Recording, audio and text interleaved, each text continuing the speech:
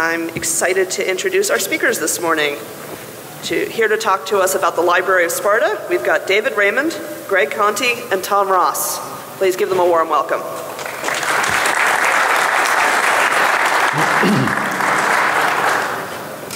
All right, so good morning. It's kind of loud. Uh, thanks for being here. We're, it's really our honor to be uh, speaking at Black Hat this year. So, uh, the, the, Library of Sparta, th this is a term that we use to describe uh, military doctrine and strategy that's been refined over hundreds of years and is reflected now in uh, writings by military theorists, in, in, doctrinal manuals, and in professional publications and, and various uh, online resources. And what we hope to do today is give you an introduction into this really vast archive of, of uh, military thinking that's been developed over years, and then provide some examples of how you might use it in the defense of, of your network.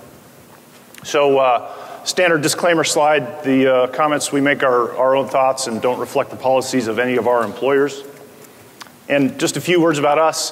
Uh, my name is David Raymond. I'm an associate professor at West Point, uh, and I teach and do security uh, in the area of uh, computer and network defense. Um, I am also a, uh, 25 year uh, Army veteran, and I'm an armor officer, so I've spent quite a bit of time applying military doctrine, maneuvering tank forces both in peacetime and in wartime. And I'm Greg Conti. I also teach at West Point um, and, do, and also conduct security and privacy research. Uh, my background, I've been doing that for uh, 14, 15 years. Before that, I did electronic warfare and signals intelligence. And I'm uh, Tom Cross. I'm the Director of Security Research at Lancope, and I've been involved in this community for about 20 years or more. Uh, I also have a little tag on my badge that says that I'm a certified thought leader, uh, so that qualifies me to speak here today. Uh, so, um, there are uh, a few reasons why we thought that this uh, would be a valuable uh, thing to discuss here at Black Hat. Um, the first uh, thing is that the internet is increasingly a domain in which um, nation states are engaged in conflict. And that conflict uh, may uh, occur in the form of, of, espionage or it may occur in the form of, of actual acts of war. Uh, and unfortunately, um, the, uh, the targets of those uh, acts are not necessarily other nation states. Um, they include uh, private organizations, uh, private corporations, uh, nonprofit organizations, individual activists, and you know, potentially everybody has to contend with this reality. So it's useful to understand how nation states think about and operationalize the things that they do. And so that's the, that's the first um, motivation behind this, this talk. Um, the second is that I think we really got to do something about defense. Um, the, uh, the, uh, the, the uh, standard assumption of at Black Hat for uh, uh, you know many years now has been that the attackers have all the cards with respect to computer security, uh, and um, you know people have demonstrated that time and time again on these stages over the years. Uh, um, the, what we call the Library of Sparta is, represents hundreds of years of thinking about uh, um, uh, you know, offense and defense in different situations. And we think that there are insights within that corpus of material that can provide us with new perspectives on the challenges we face in cybersecurity and hopefully lead to uh, insights about defense uh, that, uh, that, can, that can help us uh, you know, deal with the situations that we're now having to contend with. the third uh, a point that, um, uh, or the third reason we wanted to do this talk is that military jargon and military ideas are uh, finding their way into uh, this community's culture. And this community has a terrible habit of latching on to an oversimplified understanding of something and then literally blasting it everywhere in you know, marketing material. And over time, it gets to the point where people think that this oversimplified understanding that they have is the truth, uh, and that people who really understand the background of these things uh, don't know what they're talking about. So um, you, you, know, we, we want to talk about some of these military terms and jargon that people are using and, and help people understand the, the, what they really mean and the depth behind them. Uh, and I want to make it clear that, that we're interested in this subject. Um, uh, we, are very interested in the substance over the style here. We don't care about this because it sounds cool. We care about this because it provides insight. Equally important is to discuss what we're not covering. So there's been a lot of interesting work done on an intelligence-based network defense. We're not really going to go there. Uh, and, and, what we're trying to provide is, is not just one easy answer, one exploit. What we're talking about is really, it's the intersection of new domains where very interesting novel uh, research and ideas can come from. It's the intersection of military doctrine and this thing that is uh, computer network defense, cyberspace operations that can, that can be uh, really employed in the enterprise on the defensive side can be exceptionally powerful. So it's something you can chew on and think about over the next year, and I, I, there's lots of fertile uh, research opportunity. Uh, we're going to come at this mainly from the, uh, the Army doctrine side because that's our background, but equally important and, and equally available is uh, joint military joint doctrine, which is the other services, Navy and Air Force Marines. And the, finally, uh, we're not going to be providing easy answers uh, because this we're going to tee up some things that we think have a lot of potential for uh, for uh, application in this in this space, but we, it, it, this isn't just a, how, uh, like a checklist of things to do and we promise no Sun Tzu quotes.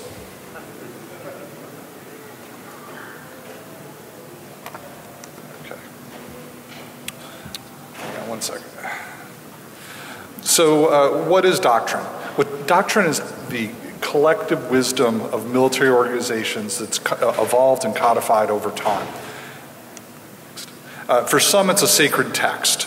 Uh, there are people who read the, you know, you've heard the phrase by the book. They'll read the manual, they'll memorize the manual, and they'll operate almost in an automaton like way following the manual. That isn't necessarily the best, uh, the best approach. And, and doctrine, the best doctrine comes from uh, real world experiences and lessons learned uh, that's uh, forward looking and uh, is flexible and can be employed in the future. Uh, the worst doctrine, and this happens and occasionally happens today, it's written in a vacuum and forced upon op operators. So, as a result, particularly due to bad doctrine, people don't follow it. Uh, and, and, particularly in America, uh, some would argue it's the greatest strength of the U.S. military. And here's a, a, a Soviet era quote uh, that Americans don't follow their own doctrine. Uh, probably an, uh, uh, un, it's a bit unsubstantiated and a little overstated, but there's something to that. By not rigorously following the book, it can be exceptionally powerful. Uh, and in the 21st century now, we have uh, a wide variety of people helping evolve doctrine. One is Doctrine Man, and he's a uh, uh rumored to be an Army major, yet to be unmasked, and he uh, lampoons and instigates uh, in conversations and dialogues surrounding the evolution of, of, of doctrine. So he's out there, and he usually makes fun of the senior people. So what, what is doctrine? You know, what is the right answer to all this? Well, there's, there's uh, bad doctrine. You can think the Maginot Line uh, during World War II. And then uh, the counter, countering it on the opposite side was the, the evolution of blitzkrieg. And what Blitzkrieg did is it took tanks, and instead of employing them just in a defensive or in a supporting role, they, they gave them a maneuver role. And what they did was punch through the hard, crunchy outside perimeter and ran amuck in the rear area uh, of the defense. So that may sound familiar in, uh, in, in, this intersection of conflict. There's uh, lots and lots of, of, similarities. So the best doctrine is a evolving and flexible framework that can be applied in a, a wide variety of situations, often under stress. And importantly, particularly from the enterprise perspective, uh, it, it's designed to scale. So this is, you know, we're, we're talking about armies here, the fog of war, the lack of information, exactly what we face uh, today in many ways, but it scales all the way up to army size. So that's why we think there's such potential. Okay, so um, so there's a variety of sources of, of uh, military thought, and, and, doctrinal manuals are but one of those sources. Um, and uh, U.S. military doctrinal manuals, almost all of them are freely available online. So you can, uh, uh, you know, quick Google search will, will uh, lead you down a path to just about any uh, joint or Army or, or other service doctrine uh, that you'd care to read. And we'll talk about a couple of those doctrinal manuals in, in, a few minutes, but other sources of, of military thought are collective writings of military theorists over the years, and we'll address a couple of those in a minute. We also have uh, a robust online community of military thinkers that really develop doctrine on the fly, right? So just like the IT and the InfoSec communities have this robust online community and professional journals and et cetera, um, you know, military professionals have the same thing, and these, these are where you can find uh, emerging doctrine. so um, most U.S. military doctrine is, is really based on the writings of sort of a handful of theorists, uh, mostly from the 19th and 20th centuries. Uh, um, two of the probably the most prominent ones are Jomini and Clausewitz, who were uh, European military men, professional thinkers, military theorists who wrote books uh, in the 19th century based largely on things like the Napoleonic Wars and um, these books are still widely read by uh, U.S. military professionals and by uh, military professionals around the world.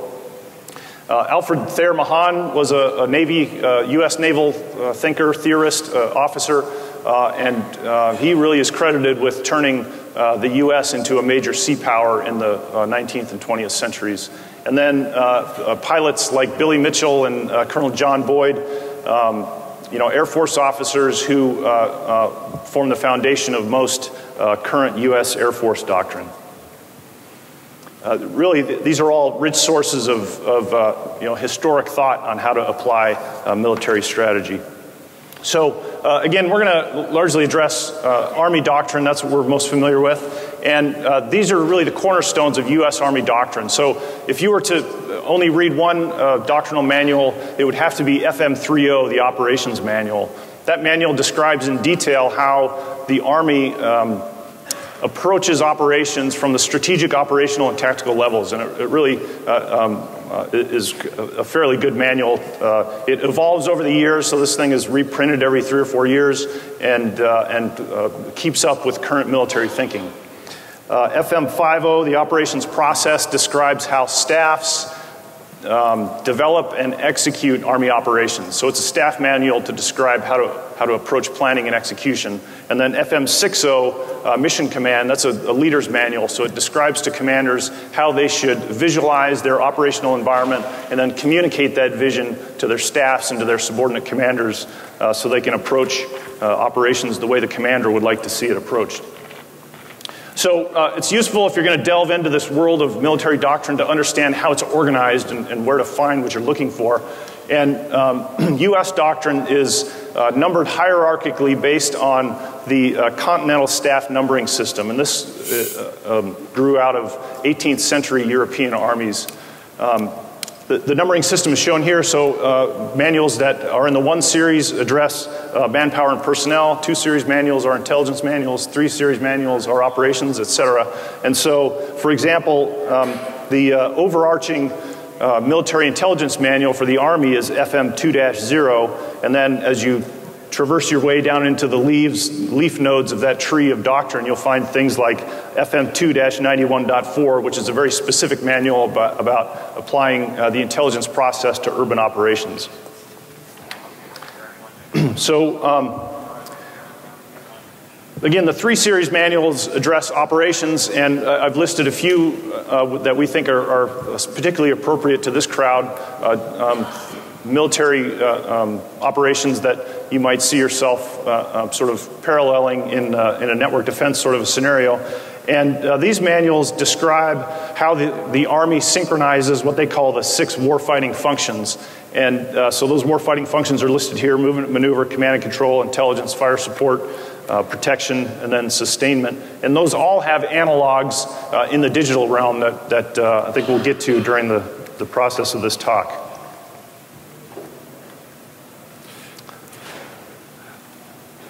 So, doctrine, what, what, we're showing you in terms of doctrine is kind of the end state as, it, as it's published and formalized. But ideas come from the force, and you put them out there in various forms, which Dave highlighted. I just want to show you one example. Uh, the, for those of you familiar with the idea of, or the, the concept of Ranger School, Army Ranger School, 61 days long, incredibly intense, uh, very immersive, and one of the hardest schools uh, in the world to teach uh, warfighting. So uh, what this article uh, suggests is, well, is there a way to, instead of, war, Ranger School is all about infantry ground tactics. Is there something that's equally demanding, and we're not talking inside the classroom experience, but an immersive 61 day event, like if you took Ed Skoudis's Cyber City, which is a miniature city uh, with real world uh, components underneath, the real systems that can then be attacked. Um, if you combine that with, a, a say, a full-size uh, MOUT site, which is military operations on, on urban terrain, um, if you combine that, what, what would it look like? So anyway, this is the type of idea that gets floated out there. Uh, this is also the type of idea that, uh, uh, like a moth to a flame, Doctrine Man is there. So uh, what, what this is doing is it, he puts it out there and, uh, and it generated some feedback. Uh, can, uh, feedback yeah, no. and it, does it pop up? Yep. So, yeah. Yeah. Okay. So uh, a couple of quotes, and what we did is we basically got every smart-ass possible answer uh, out of the crowd uh, that you have to write code uh, 19 hours a day with little food, and I knew Ranger School would eventually become uh, an online school. Uh, because what we have here, it, it, for those who are familiar with the military, it's run by, or the Army, it's run by infantrymen and combat arms officers, and uh, they, you know, this is cultural heresy. But this is the first step in getting it out there. So this is being a little facetious, but um, equally, we did receive a lot of positive, constructive feedback on the Small Wars Journal site saying, hey, the good and bad points of this idea. Okay, so um, now that we've provided kind of some insights into, the, into this library. Um, what we want to do is um, provide some examples of how military thought has found its way into network defense. And uh, some of those ways are, are uh, listed here. And we'll start with uh, this notion of operation security or, or OPSEC. I'm sure um, many folks in this room have, have heard this term used in, uh, in the defense of their networks. And um, for the military, the operation, operations security is a process, very systematic process used to um, uh, identify, control, and uh, protect critical information. So the OPSEC process from a military perspective is all about information, right? You want to uh, uh, limit vulnerabilities by protecting information about friendly activities. And um, th there's a joint publication uh, on the operation security process. Really, it's a, it's a good document, describes the, the military's approach, uh, and it's only about 20 pages um, so it, it, this would be an easy reference for somebody to go dig up. So of these uh, different doctrinal concepts that we're going to discuss today, OPSEC is probably one of the ones that this community has the best uh, um, understanding of and familiarity with. Uh, but you know, nevertheless, we see a lot of sloppy execution out there, uh, and I wanted to provide a few examples of OPSEC failures. Um, the hallmark of OPSEC is discipline. It's about taking care in everything that you say and everything that you do, uh, that that action uh, does not reveal information to your adversary that you don't want them to reveal unnecessarily. Uh, um, and um, uh, you, you, know, often out of convenience or expedience, people do things um, that uh, that uh, uh you know make connections for their adversary that they don't need to make. So um, you, you, know, often, so first of all, let's think about this from the perspective of an attacker. Often, an attacker does not want the defender to know that the attack ever took place, um, but sometimes that's inevitable. Um, if you're disseminating malware broadly uh, throughout the internet, you know that malware analysts are going to get a hold of it and, and take it apart. Uh, and, and still you see people who are operating large botnets uh, take actions to try to prevent certain pieces of information from falling into the hands of malware analysts. Uh, classically, people use domain generation algorithms in order to protect the location that their command and control um, uh, system is going to pop up in advance. Uh, so um, uh, you know, as an example of an OPSEC failure in this in this regard, um, I, I, you know, I, I think Stuxnet uh, applies. Uh, Stuxnet was a very sophisticated malware operation, um, uh, one of the most sophisticated malware operations we've ever seen. Uh, um, but uh, you know, it was also you know a self-reproducing piece of malware, and the people who created it either knew or should have known that it was going to get everywhere, and things that get everywhere have a tendency to get analyzed by by professional malware analysts. Um, however, um, within the code of Stuxnet, there was some code that was shared uh, with a few other uh, malware families, uh, uh, Duqu, Flame, and Gauss. Uh, and in fact, the analysis of Stuxnet led to the discovery of Duqu and subsequently the discovery of some of these other malware families. So these guys uh, connected something that was, uh, you know, broadly targeted uh, with other operations that were that were narrowly targeted, and so as a consequence, uh, um, you know, some of their operations were compromised, and that uh, that's an example of a pretty significant OPSEC failure. Uh, Another um, uh, you know, point from the attacker's perspective um, is, uh, is that often the attackers try to prevent defenders from understanding their true identity. Uh, for some reason, uh, people in policy circles uh, tend to think of attribution on the internet as being a technical problem. Every time I'm in Washington, D.C., somebody says, Have you guys made any progress on the or the uh, attribution problem? Um, attribution is not a technical problem, and I don't think that it has a technical solution. The way that you attribute actions in cyberspace is by exploiting the OPSEC failures of your adversary. Um, and as an example, uh, you know, uh, just a month ago or so, uh, uh Operation Tovar took down some of the command and control infrastructure associated with the Game Over Zeus botnet, and they named the, one of the people responsible. Um, the, uh, it, there's some uh, um, interesting court filings that have been published uh, in this case. They're, they make for interesting reading, and they discuss some of the ways in which this operation was compromised. Um, you know, the guy that they named, it sounds like he accessed his personal email uh, from the same system that he was used, using to operate the botnet. And so that's how they were able to connect him with the botnet operation. So that's a good example of an OPSEC failure from an identity standpoint. And I think that, uh, so there's this guy named the grugq who has a, a, a deck out there called OPSEC for Hackers. Uh, which is an interesting deck to read if you want to think about this uh, attribution stuff uh, from, a, uh, from a, uh, an attacker's perspective. I think that um, um, you know, the corollary is that a very professionally executed operation is going to be difficult to attribute. Um, so anybody who says the attribution problem is solved is probably oversimplifying things. you know, from a defender's perspective, uh, it can be very difficult to, um, uh, to maintain the level of discipline required if you're not an army. Uh, if you work for a private company, um, you know, you, everyone who works in your organization is a civilian. They're not going to engage in the level of discipline that you probably need them to engage in to have the sort of OPSEC that a military would have. Uh, it's just not reasonable. Um, and that creates a variety of problems. There's lots of information uh, that employees of an organization will disseminate on the internet that's valuable to attackers for launching spear phishing attacks. You know, what kind of technology these people work with at work can tell you something about what you need to target. Um, so to provide you with an example of this, uh, I used to work on an IPS product, uh, and we, we, um, we had a lab where we would set up uh, vulnerable software so that we could reproduce exploits um, and validate that our IPS was detecting those attacks. Um, and often, the vulnerabilities we were working with had not been publicly disclosed yet. Uh, and we had a lab team, and their job was to go out and get these vulnerable software packages and get them set up so we could work with them. And you know, we were asking these guys to set up a different software application every week, and you know, I don't think they fully understood the context around what we were asking them to do. Uh, and it turned out one of these guys had a Twitter feed. Uh, he's just kind of like blogging about his job. Well, this week they want me to set up an Exchange server. Uh, so, uh, needless to say, we had to ask him to stop doing that.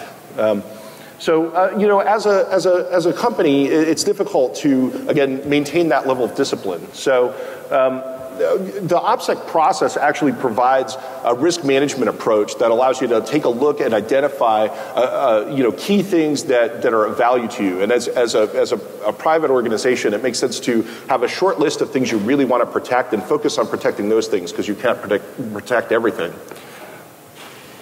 And what we're trying to do in this talk is just highlight some areas. I mean, like you're, you're probably not going to find many books on OPSEC, but the, and but this and, and about real literally a thousand other subjects, there's actually free books on it that dig into it in, in, very mature, mature ways.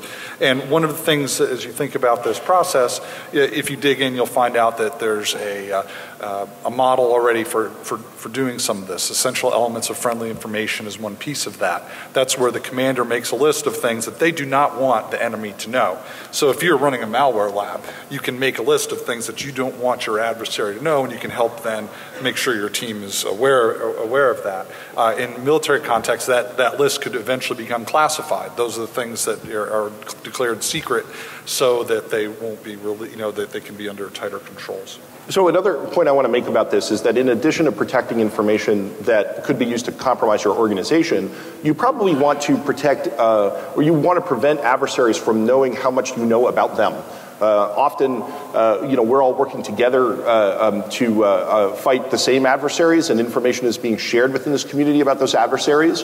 Um, and so, if you do something to, to, reveal to the adversary that you know things about them, like say interact with their command and control server, and, and it ends up getting burned, you're not only screwing yourself, you're screwing a whole bunch of other people that are trying to, you know, keep track of the same adversary. So um, there's a real need for, um, you know, more discipline out there within this community with respect to uh, things like information about adversaries. So another uh, military concept that's found its way uh, into network defense is this notion of the kill chain, which uh, is really a colloquial term for the U.S. Air Force targeting process uh, developed in the, in the mid 1990s. And it's this series of steps find, fix, track, target, engage, and assess. So in the find phase, you're identifying potential uh, enemy elements. Then you fix them, so identify their exact location. You track their movements and activities. Eventually, you make some decision that you're going to target that enemy asset and then uh, you decide how you're going to do it and engage, and then you, you assess the, the quality of uh, your targeting, and then you go back and sort of start all over again. now, this uh, concept was uh, translated into cybersecurity terms in a 2010 Lockheed Martin paper that uh, took that same notion of a series of steps required to target an enemy and applies it to the steps that uh, an adversary might take in order to uh, gain unauthorized access to your network. So you start up with the, uh, the reconnaissance phase, weaponization, delivery, etc. The idea here is that if you can break any element in that chain, then you can pre prevent the, the, the compromise of your network. I'd, I'd, also add that it's, it's very useful for prediction because if you, if you know the basic set of steps they're going to go through, you can almost very reliably know where they're going to go next and start uh, taking that into account. So I, I, think that the kill chain is an excellent example of uh, something that came out of military doctrine that has had a lot of influence on the cybersecurity community over the past couple years. Um, and it's not teaching us anything technical uh, that's new, right? It's just giving us a different perspective on the way we think about the problem we're solving. And so that's kind of what we're talking about. Uh, um, so, you know, traditionally, um, uh, the, there's this asymmetry problem in cybersecurity, or at least, at least we believe there is, right? So as a defender, I have to identify every vulnerability in my really complicated environment, and I have to block attacks that target um, any of them. Uh, whereas the attacker only has to find one vulnerability in order to be successful in compromising my environment. So, um, you know, the, the, uh, the odds favor the attacker. Um, in this uh, kill chain model, when we think about it, um, this attacker is attempting to be covert, and they have to get through every step of a multi-stage process uh, while maintaining that, uh, that uh, OPSEC, if you will.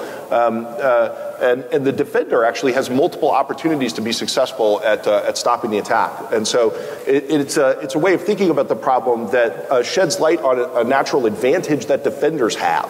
Uh, and I think that because we know so much about the advantages that attackers have in computer security, um, you know, we could use to spend some time thinking about what advantages defenders have and how to, how to really utilize them. Okay, so uh, terrain analysis is critical to success, successful uh, military operations, and um, as the military has tried to apply operational concepts to, to, to this new cyber domain, uh, this is one area that uh, we've had some challenges. Uh, in, in, fact, in the Army, where we have a de definition for literally everything, there is no definition for cyber terrain. So senior leaders, as they think about this problem, they tend to think of cyber terrain only as those physical systems that allow uh, traffic to move from one place in the network to another. So they'll think in terms of switches and routers and, and uh, network cables. Um, we see uh, um, cyber terrain as uh, much broader, obviously. So you start all the way up with the uh, with the supervisory plane. So those elements that uh, provide command and control to your uh, to your cyber assets. And then the next level down, you have the persona plane. So you have people and you have their online personas, accounts. Uh, there's often a, a one-to-many or many-to-one relationship between those things. Um, next uh, plane down, you have the, uh, the um, logical plane, which is really the top six layers of the OSI model, or the top four layers of TCP/IP, right? So you have uh, um, operating system software, you have application software, you have the protocols that allow communication between devices.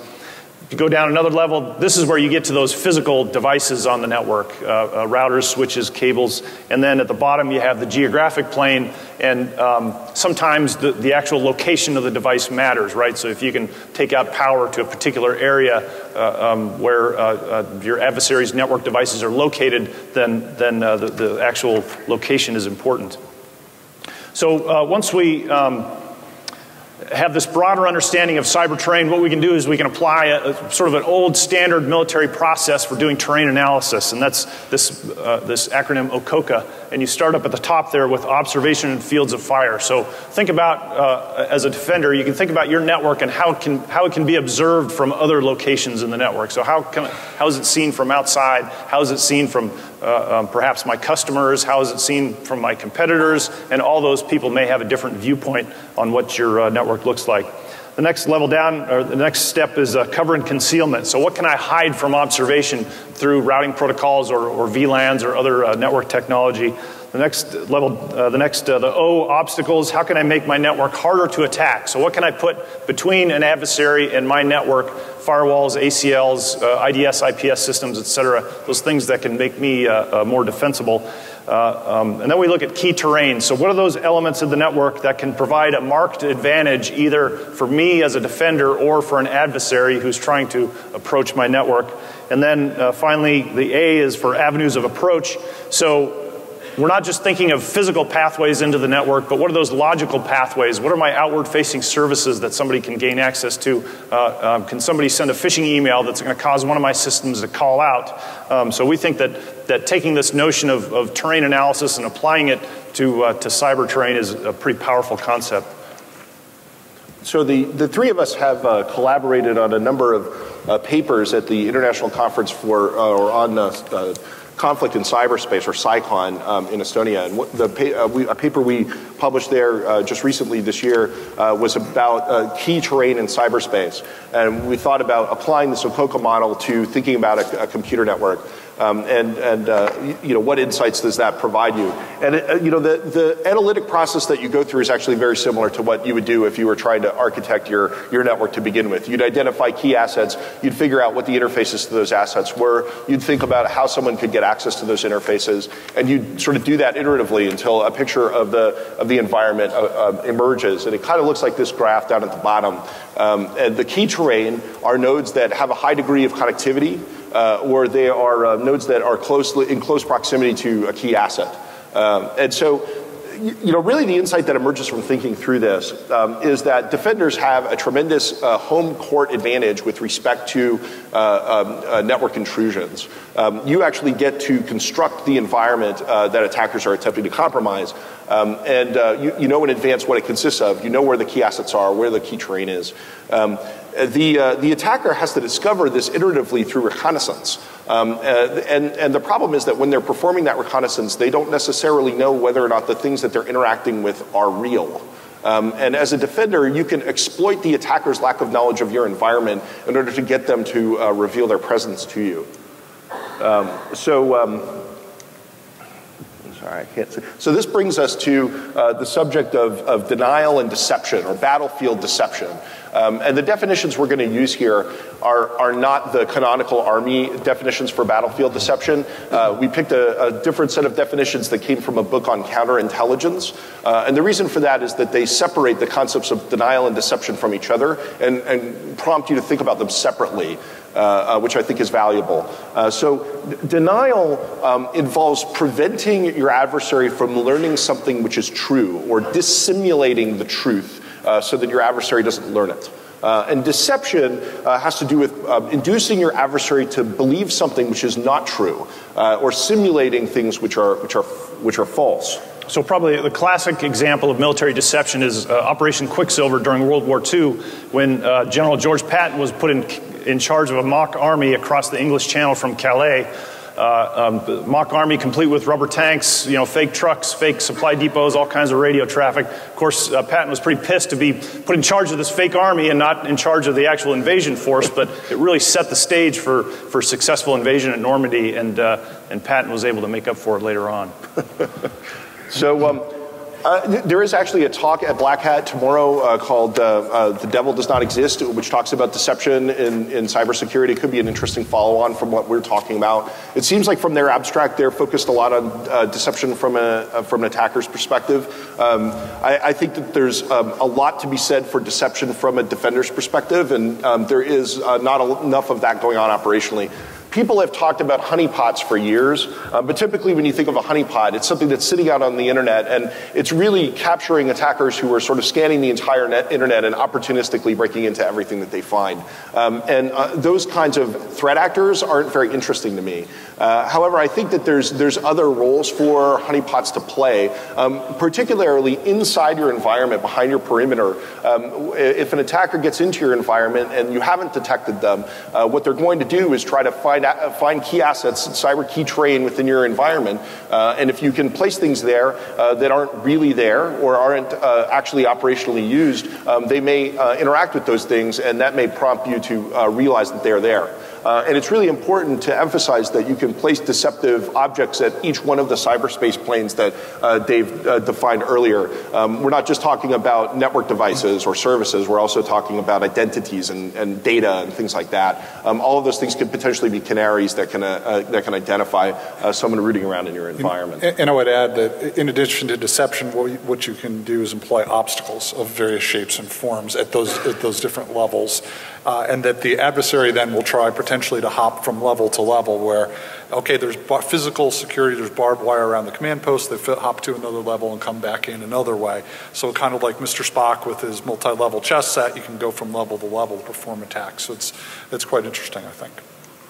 So, um, uh, you know, to, to sort of underline this point, we talk a lot about how the human is the weakest link in your security program. You could have all your technical P's and Q's, uh, uh, um, you know, lined up, and, and uh, you, you, know, some idiot in your organization is going to click on a link or, or uh, they're going to be, uh, you know, social engineered over the telephone. So, um, you know, we think of a lot about that, you know, as a weakness of defenders, but what about thinking about that as a weakness of attackers? Anyone who's attacking your environment is ultimately human. And so if you can exploit that human, if you can cause them to believe things that aren't true, if you can prevent them from understanding what's really happening, uh, um, you know, then, then uh, you, can, you can offset the balance against them. And, uh, you know, that's not something that we, uh, I, I, think, talk about enough in, in computer security.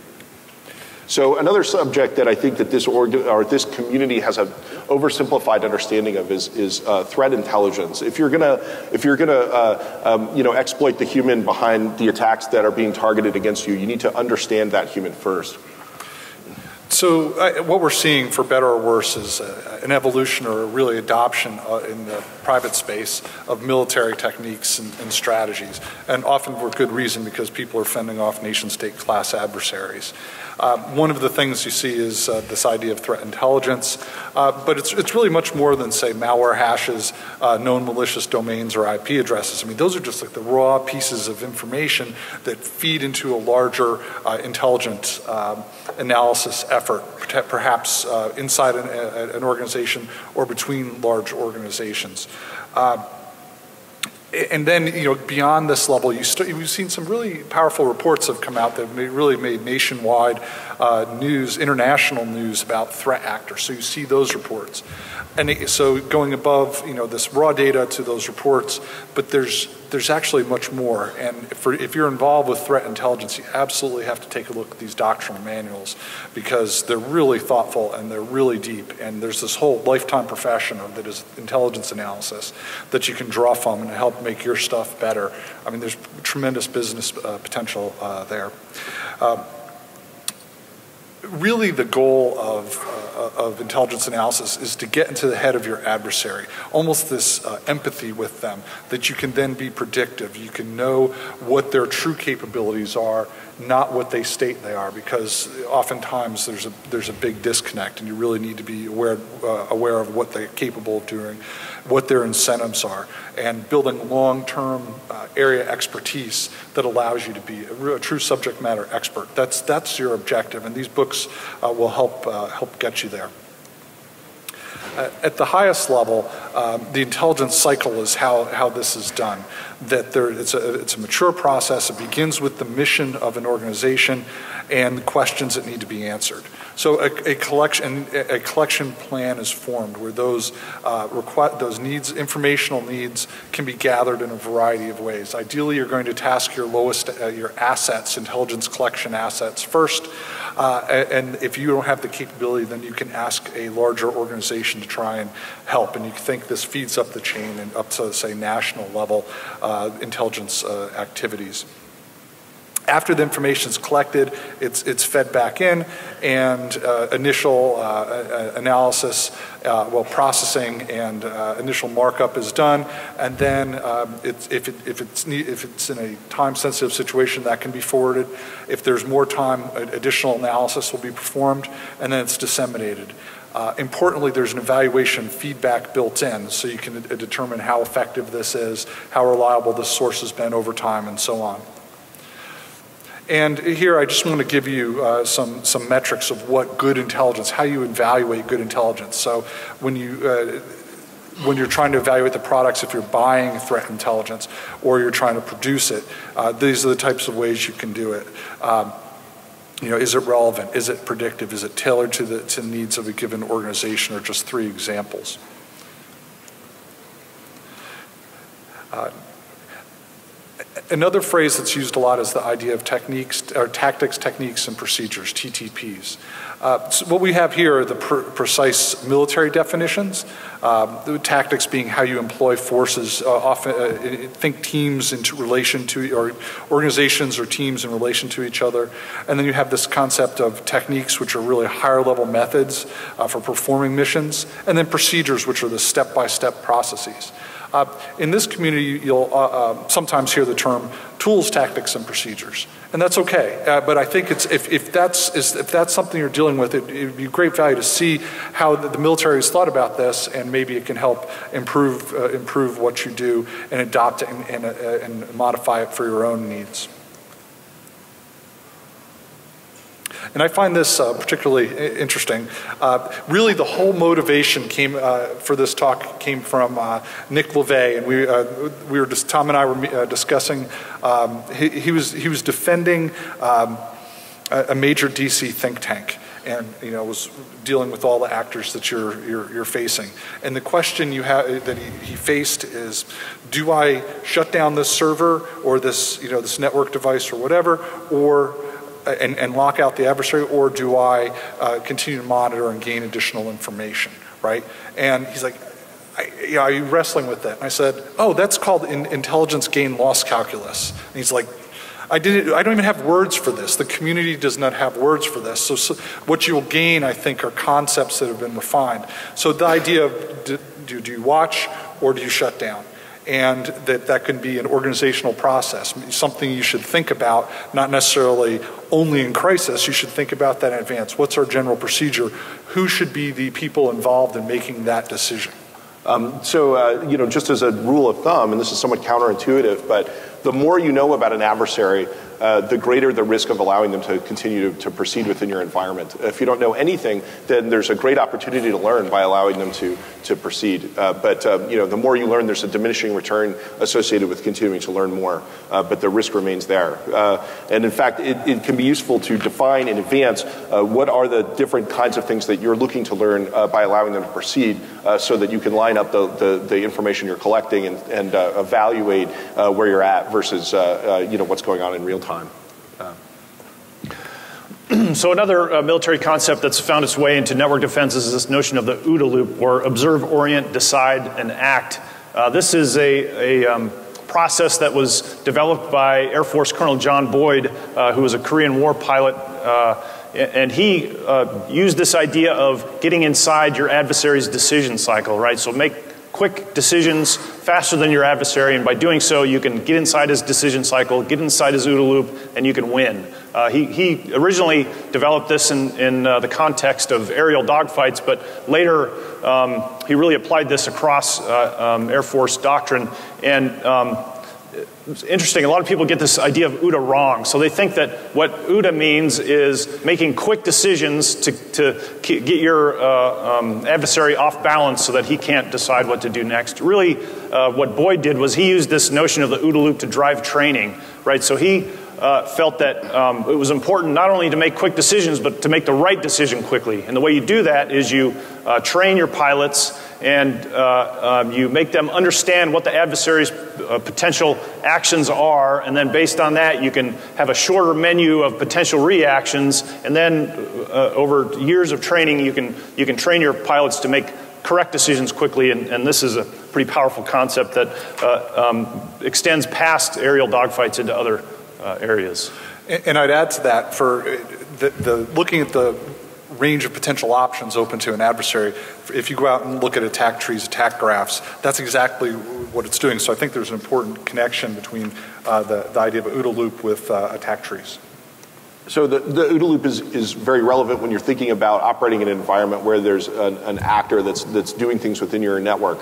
Um, so the question is, you know, how quickly can that actor uh, observe, um, you know, orient, decide and act within your environment versus how quickly can you do that? How well can you observe what's happening within your environment uh, and, and, then how uh, quickly can you can you uh, change what you're doing in order to react to uh, things that are happening? Uh, and often, you know, um, the answer is that you're doing a vulnerability scan of your network once a month, and if you find a vulnerability, it takes you two weeks to patch it. and so that that's sort of that you're not spinning your OODA loop very quickly if that's your if that's your operational stance. But that's the reality in a lot of organizations. Your um, your attacker can can pivot around much more quickly than that. Um, I, I think that uh, um, you know the OODA loop has a lot of relevance to thinking about incident response. We talk to incident responders about um, making sure that they've laid the groundwork for what they're going to do in advance. They've had conversations with people in the organization in advance, um, so that people can people know what to do in the event that there's actually a, a situation that's occurring. And that's very similar to uh, sort of the discussion about making sure that you've you've thought through uh, before you get in a dogfight all of the different scenarios that could occur, so that you can just take those actions without having to figure out what they consist of. Okay, so targeting is an area that, that uh, is is, just beginning to find its way into uh, this idea of cyber operations and cybersecurity. So targeting is, is uh, based on effects that a, a, commander wants to achieve. So for example, an effect might be that uh, the commander wants to uh, um, degrade an adversary's command and control systems. There are a variety of different ways that the staff could select uh, to, to potentially cause that degradation. They could send in a team to kill the commander, they could drop a bomb on the operations center, they could uh, destroy power generation so that uh, uh, the physical systems just won't operate, uh, they could uh, jam frequencies. Uh, so there are, there are a lot of approaches, but the approach is, is selected based on the, the, the, the effect in the end that the commander wants to achieve. And it's another one of these military, very systematic processes that, that the, the, the Army is good at. So, um, how does this apply to cyber operations? Well, uh, um, as militaries around the world are uh, um, developing their uh, cyber operations forces, uh, they're finding ways to use uh, perhaps network attack or defense either to um, replace some kinetic activity or to you know, execute in conjunction with kinetic activity. And here's some examples. Uh, um, in 2007, Israel is suspected to have used a cyber attack to cause Syrian air defense systems to go offline. And the, the, result was there. The, the, result was that Israeli pilots were able to fly freely into Syria. Um, that was in, reportedly right. In reportedly, yeah. in 2008. Um, when the Russians attacked into Georgia, there was this corresponding uh, distributed denial of service attack on uh, network systems in the country of Georgia. And uh, those, some of those attacks are suspected to have uh, originated in Russia. And uh, so here's this possibility of a coordinated cyber and physical attack. And then we have uh, the Stuxnet virus in 2010, which we think might have been created in order to take some Iranian centrifuges offline. Of course, that, could, that same effect could have been achieved through a massive bombing campaign, but uh, um, you know, when we can select non-lethal means to achieve an end, sometimes that's preferred to some lethal means. So um, a couple other things we'll, we'll, hit real quick. I think we're going to get uh, the hook here before too long. Um, military operational planning cycle. This is a, a another. So again, uh, the, the, U.S. Army, U.S. military is very good at these systematic processes, and sometimes systematic is good, right? If you can if you can have a system, a process in place that you can use to, uh, you know, achieve some end uh, that's repeatable and that you can train your security staff to, uh, um, then, uh, you know, in the end, that can be very helpful. Uh, what you have to do, though, is you have to be careful not to stifle creative thinking and, and prevent people from, from sort of thinking of creative solutions. This is the military uh, operational planning cycle, and if you sort of hold it up next to the engineering design process, which uh, many of folks in here are probably familiar with. It, it looks very similar. uh, another uh, doctrinal concept that's fairly new uh, um, that, that uh, might be leveraged in this space is this notion of design. So this design was um, uh, a doctrinal concept developed just over about the last 10 years, and it developed because um, operations in Iraq and Afghanistan early on were not going very well, right? So we had these insurgencies, and the uh, typical military solution, uh, you know, originally to an insurgency is you kill as many insurgents as fast as you can, and uh, turns out that that wasn't solving the problem at all. In fact, it was making it worse. It was just making, you know, pissing people off and creating more insurgents. So then uh, uh, the military went back to the drawing board and, and developed this notion of design not only to think about more creative solutions to the problem, but to really think about the problem. So are we, are we even solving the right problem?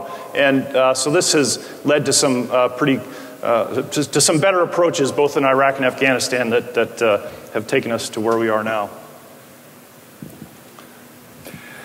So I've done work in uh, security visualization, and uh, I just want to point this out to you. The, the military is all about providing an oper common operating picture, understanding what the battlefield looks like, and they've done it for many, many years. There's an entire book of graphics and symbology uh, that if, if any of you are trying to depict networks and conflict in, in any of those planes, take a look at this document. It's a whole book out there, and there's a lot of great ideas.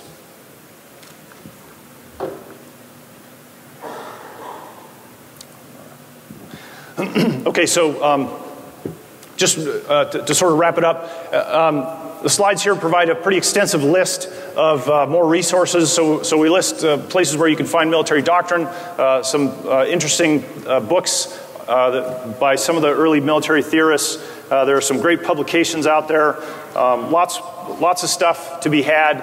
And um, these slides, I'm sure, eventually will find their way to the uh, Black Hat website. And then we there's also a corresponding white paper that has uh, these references and, and, many more. I, I uh, forgot to mention that my boss, TK Keanini, has a 40 minute video on YouTube about the OODA loop and cybersecurity that's pretty good. I meant to put that out there. It's worth, it's worth watching.